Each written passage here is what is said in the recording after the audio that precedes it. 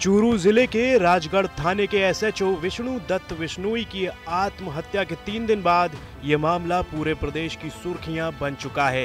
Rajgarh CI Vishnu Dutt suicide case तीन दिन बाद मंगलवार सुबह अचानक ट्विटर पर ट्रेंड करने लगा। इसकी वजह यह है कि अब इस मामले में सीबीआई जाँच की मांग उठी है।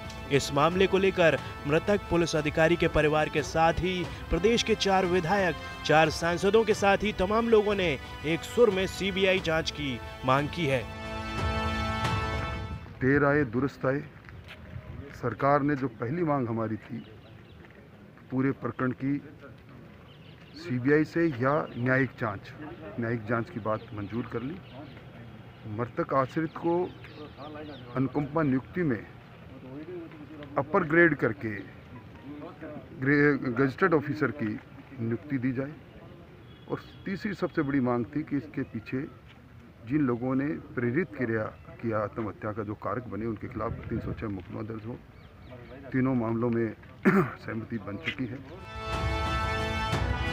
केंद्रीय मंत्री अर्जुन राम मेघवाल, केंद्रीय मंत्री गजेंद्र सिंह शेखावत, नागौर सांसद हनुमान बेनीवाल, श्री गंगानगर के सांसद निहाल चंद मेघवाल, के साथ ही विधायक बलबीर सिंह, विधायक बिहारी लाल विश्नोई, विधायक गिरधारी लाल महिया और विधायक कुलदीप सिंह और विधायक गुरदीप शाह पीनी ने मुख्यमंत्री अशोक गहलोत को एक एक खत लिखकर मामले की सीबीआई से जाँच करवाने की मांग की है।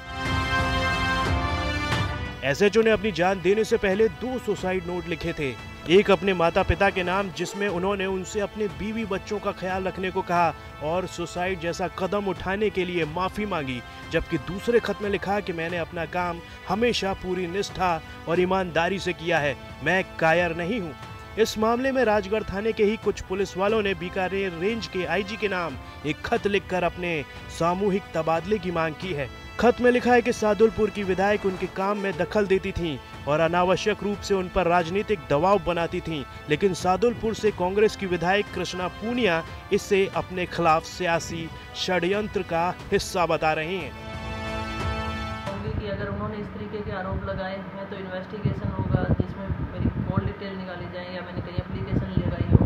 तो इनके खिलाफ मैंने कहीं पे कोई कार्रवाई की हो। और मैं ये ज़रूर कहना चाहूँगी कि विष्णुदत्त जी की जो डेथ हुई है, उसके प्रति मेरी संवेदनाएँ हैं। और उसमें सिर्फ़ और सिर्फ़ इस राजनीति में झूठे आरोप तय करने की कोशिश की गई।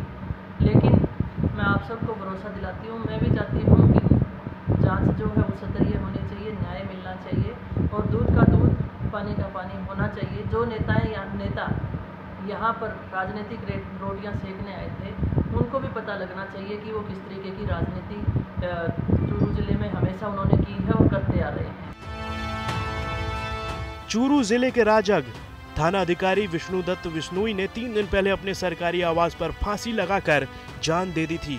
प्रदेश के सबसे होनहार और ईमानदार अफसरों में शामिल विष्णु दत्त विष्णुई का ये कदम उठाना हर किसी को झकझोर देने वाला है। हालाँकि मामले की शुरुआती जाँच के आधार पर यह सामने आया है कि ज़्यादा मानसिक दबाव की वजह से उन्होंने आत्महत्या की। लेकिन ये प्रेशर किसने डाला?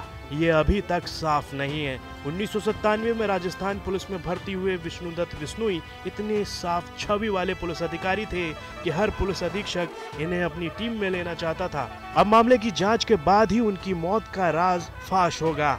राजस्थान तक के लिए चूरू से विजय चौहान की रिपोर्ट।